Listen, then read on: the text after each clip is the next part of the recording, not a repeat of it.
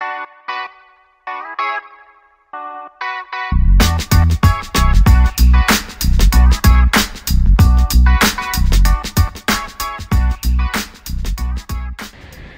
Hey, what's up guys? Dave here from CNC 3D. So today we're going to be going through how to tram your YouCarve for best results. So basically what tramming is, is it just means that whatever cutter you have inside your router is going to be absolutely perpendicular with your tool straight up and down. And as you can see, sometimes when you go through and surface your bed, you usually get these little ridges on here. So we've gone through and we've surfaced this bed here and we do have a couple of line ridges on here. So we're gonna go through how we can make a simple timber jig in order to be able to actually do and tram this machine. So you'll notice here at the front that we've just got a couple of tools here. Um, this is something that we've just made up. Basically, what it actually is, it's just a piece of timber. It's 300 mil long. You can use some treated pine if you want to. We've just used a little bit of plywood here. On this side, we have a quarter inch bolt because we know that our router that we supply comes with a quarter inch collet. And all we've done is we've just drilled a couple of holes in this bit of timber and we've mount one, mounted one bolt through on this side and then we've just put a nut over this side. Now, over on the other side here, we just had an M5 bolt and a nut. We could have used an M6, but this is really just to give us an indication of exactly how good our actual tramming is. Now, the only other tools that we require to do this is our two standard spanners that come with your router and a 3mm Allen key. So basically the first thing that we need to do is we need to insert this little tool that we've made into our router. Now there's a reason why we have made it 300 mil, and it's because we're gonna be swinging this around from one side through to the other. So we needed something that could fit within the surface of our bed. So at the moment, our YouCarve is currently powered off. It can be moved by hand, which you can move very carefully and slowly. And obviously try to get the machine pretty much in the middle. So the router is in the center of the machine. Now what we're gonna do we're just going to go ahead now and we are going to attach our tramming tool into our router.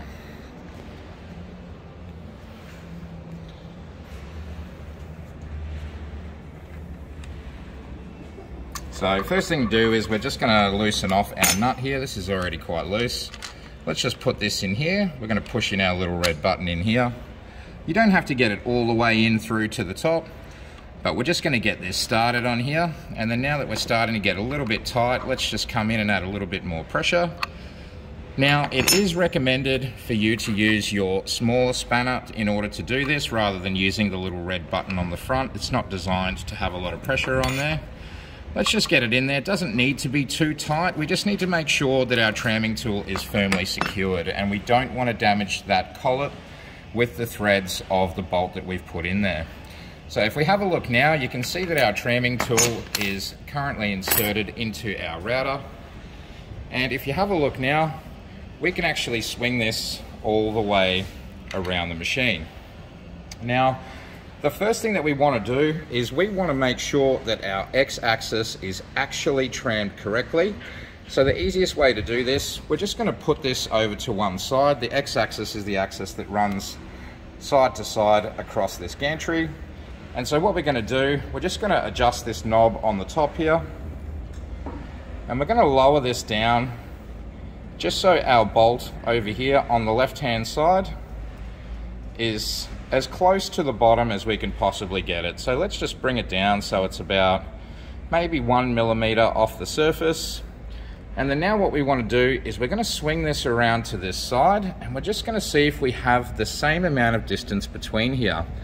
And as you can see, we've actually got about a five millimeter gap over this side. So if we swing this back around again, we'll just double check.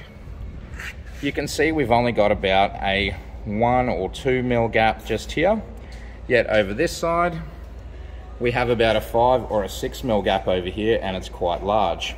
So the first thing that we need to do is we need to grab our three mil Allen key here and we're going to go through and adjust the tramming on the x-axis here. So you will notice on the side here of the machine that where the actual spindle clamp is, there is a bolt inside here and underneath here there is also another bolt And then around this side here, we have a bolt and another bolt in here. And so these four bolts are what hold this bracket in its position. So what we're gonna do is we're gonna carefully loosen off all four of this, these bolts here. Now the one tip I will give you, when you're using an Allen key, you may notice that one side has a ball end on there and the other side has a flat end. Now we would definitely recommend using the flat end so you don't strip out your bolt heads. So let's just go ahead and loosen this off now.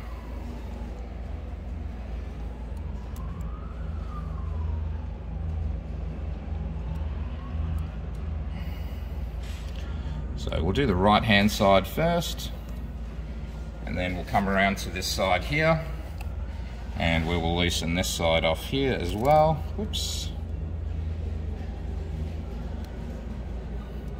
Don't loosen these off so much that the bolts actually come out of the T-nuts. We basically just want to break that tightness of the actual of the actual bond that it has to the Z-axis.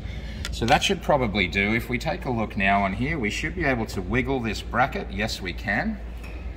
And so what we're trying to do now is we want to try to make it so that when we swing this arm around, the distance on this side has the same clearance to your bed as the distance on the other side. So we knew before that we were about two mil off, so I'm gonna try to tilt this this direction. So if I grab the clamp here and just adjust it, I'm gonna hold that into position now and I'm just gonna lock in just one of these bolts just to put the tension back on there. All right, now let's go have a look. We've got a gap here of looks like just over three mil. So there's a gap here of just over three mil here. Let's go and swing this arm around to this side here. And we looks like we have a gap also just over three mil. That's just clearing under there. Now across a distance of 600 millimeters, having a gap of pretty much three mil here on this side and a gap of three mil over here on this side is actually pretty close but let's see if we can just give this a little bit more of a nudge and get it just that little bit closer that's feeling a bit closer again now I'm pretty happy with this. So across a span of 600 millimeters, we've managed to get within about one millimeter of both sides of the machine. So let's just go ahead now and lock this into place here. So we'll start with our top one at the top here, using the flat side of our Allen key.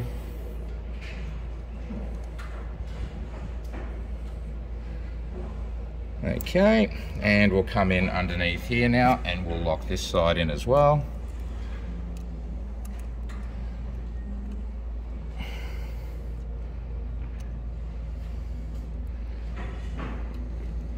If I can get it in there. It might be a little bit fiddly for you. There we go. And then we'll come back around and we will secure our bottom on here again.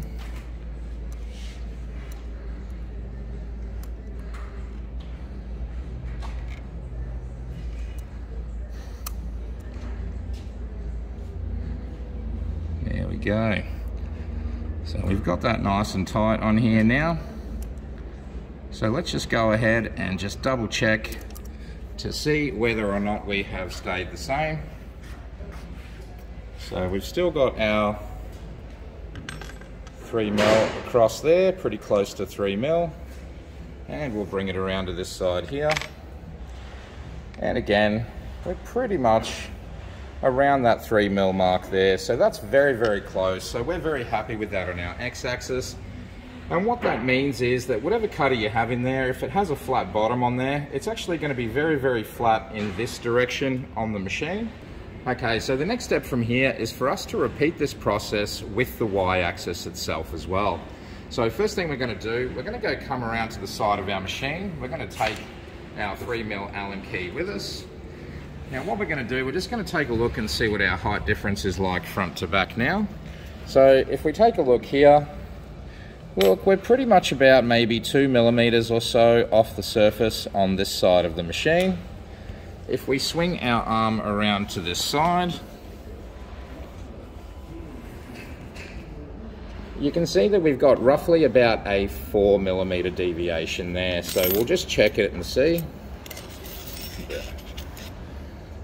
So we'll just check it and see. And yes, we do have clearance there. So we're pretty close on the y-axis, but we're not quite perfect. So what we, what we might do is we're just going to swing this back around to the front here. And we're just going to ever so slightly lower this down towards the surface so that we still have clearance. But as you can see, we've only got roughly about one millimeter of clearance here, which is good enough for us. And so this will be much easier for us to tell how close we are on the other side when we swing back around. So we've got roughly about a two millimeter gap there now. Yep, we can't quite fit our three mil Allen key under there. So what we need to do now is adjust the tramming on our y-axis. So to do that, you'll notice we have this gantry that runs all the way across the machine that's held together by these plates.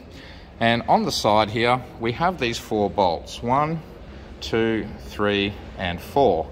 And these bolts are the ones that actually secure this to this plate. So what we're going to do, we're going to very carefully just loosen these off.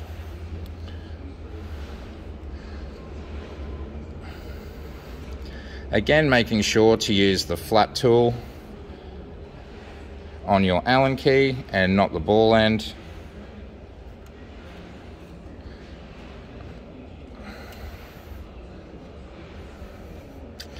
There we go, that's quite loose on there now. And then we're going to come around to the other side of the machine and we're going to repeat this process. So again, on the side of this machine here, we have these four bolts here. One, two, three, four. So let's just go ahead and loosen these ones off as well.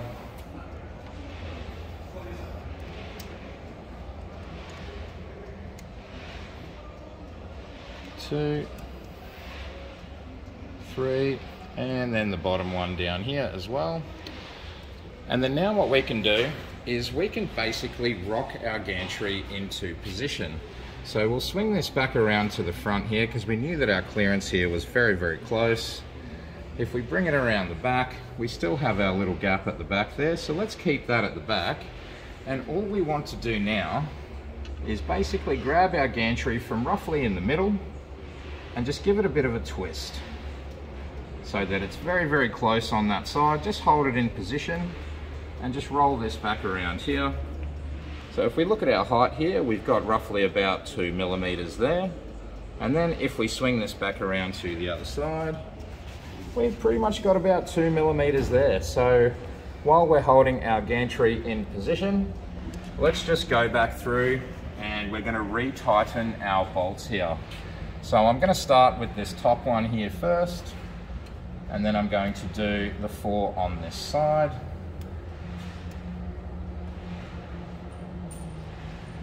And so all we're doing is we're just retightening those four bolts that we've loosened off. So that does that. Now let's just double check our tramming here again. So from the back here, we still have a gap of about maybe two millimeters across the back there. Let's just double check with our, yep, about two millimeters. And then if we swing this back around to the front as well, Yep, about two millimeters of gap across there too. So this is very, very good. All we need to do now is just lock these back in. So to do the top one, make sure to hold your cable chain bracket um, just so that it sits rather flat across here. Now I will use the ball end just to get this one started with a little bit of pressure and then now we can actually go in and lock this one in as well and then just go ahead and do the other three on here too.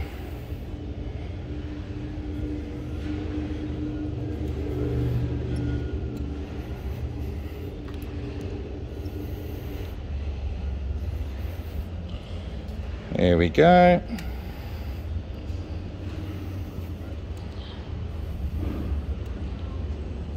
Your YouCarve may look a little bit different. This is actually one of our original YouCarve machines. It was one of our very first prototype machines that we actually produced.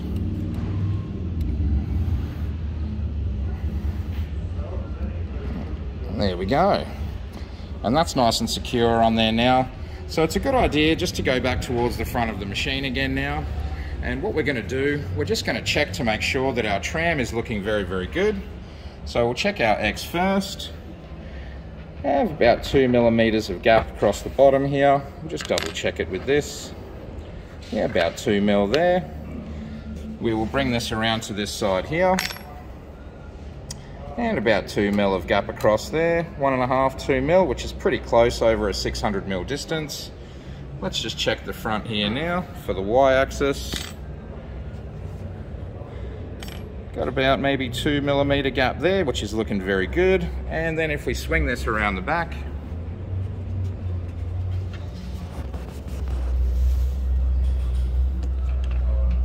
and we have about a two millimeter gap here as well. So that basically completes the tramming on your YouCarve. Now it would be a good idea just to go back through and just double check all of your bolts are nice and secure.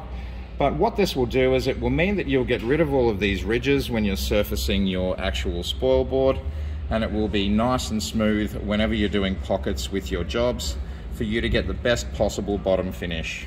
I hope this has been a helpful video for you today. Please like and subscribe to our channel if you like our content and we'll catch up in the future. Thanks guys.